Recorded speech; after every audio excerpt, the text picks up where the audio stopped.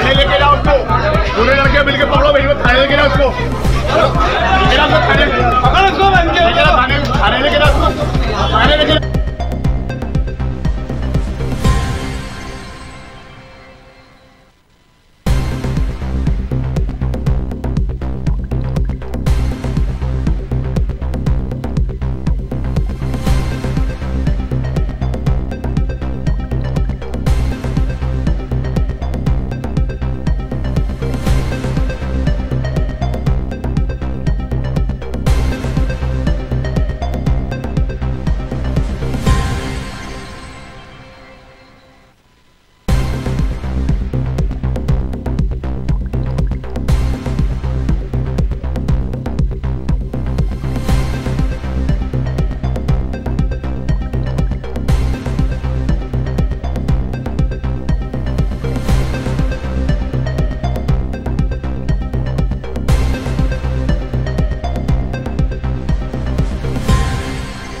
निगम के अमले के साथ यहाँ पर भी लोगों ने मारा है और तमाम चीज़ें हुई है F I R New Market क्षेत्र में कुछ व्यक्ति विशेष लोग हैं, लगभग तेरह चौदह, जो आपराधिक जो है प्रवृत्ति के लोग हैं, जो कि न स्वयं जो है अतिक्रमण करते हैं, बल्कि अन्य लोगों को भी पैसे लेके यहाँ पर अतिक्रमण करवाते हैं, जिसके संबंध में निगम द्वारा यहाँ पे लगातार कार्रवाई की जाती है।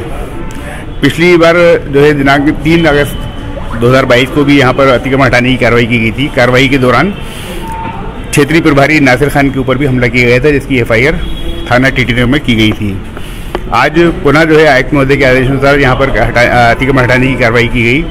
सभी अतिक्रमणकर्ताओं का अतिक्रमण हटाया गया। सामान जब्ती की कार्रवाई की गई।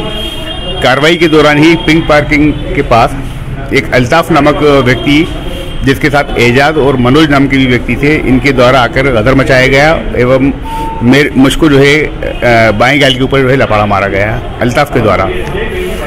दो तीन कर्मचारी हमारे और हैं अतिक्रमण प्रभारी आकाश मिश्रा, राजीव एवं नवेद।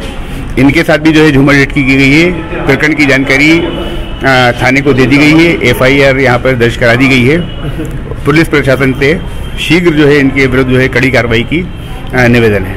सर आप पहले भी इस प्रकार की मारपीट वगैरह हुई है? कई बार बिल्कुल यहाँ पर बोला यहाँ पर शक्तियाँ देनी चाहिए। यहाँ पर यहाँ पर यहाँ पर बराबर निरंतर इस प्रकार की घटनाएँ न्यू मार्केट में घटती रहती हैं। वजह सिर्फ़ और सिर्फ़ ये है कि हाकर्स में माफिया प्रवृत्ति के लोग शामिल हैं जो इन चीज़ों को अंजाम देते हैं। पिछले बार की घटना के दौरान भी लाठी डंडे घातक हथियार लेके जो है नासिर खान के पीछे दौड़े और बड़ी मुश्किल से उनको बचाया गया है हमले के द्वारा।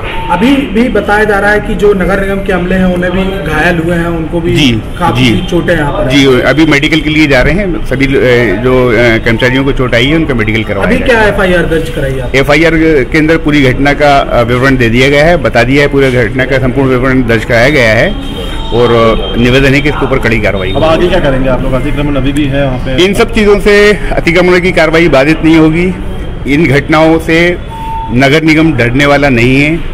और बलपूर्वक जो है कार्रवाई की जाएगी और प्रयास किया जाएगा कि आगे वाली कार्रवाइयों के दौरान पुलिस बल का भी हमको सहयोग मिले जिससे प्रभावी कार्रवाई कर सकें और ऐसे लोगों के मनोबल को तोड़ा जा सके।